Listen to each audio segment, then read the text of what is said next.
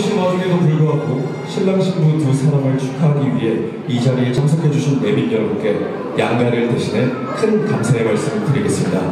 저는 오늘 이 영광스러운 예식의 사회를 보게 된 사회자 서명균이라고 합니다. 인사드리겠습니다. 네, 감사합니다.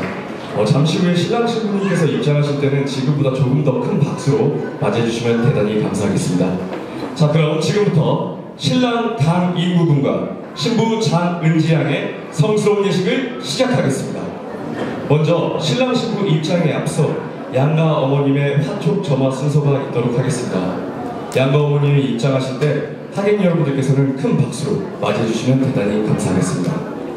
양가 어머님 입장해 오늘의 주인공 두 사람 중 신랑님의 입장이 있겠는데요. 모두 잠시 뒤쪽을 바라봐 주시면 네, 됩니다. 다음은 신랑 신부님께서 양가 부모님과 그리고 내빈 여러분들께 감사 인사를 드리도록 하겠습니다. 먼저 신부 측 부모님께 인사를 드리도록 하겠습니다.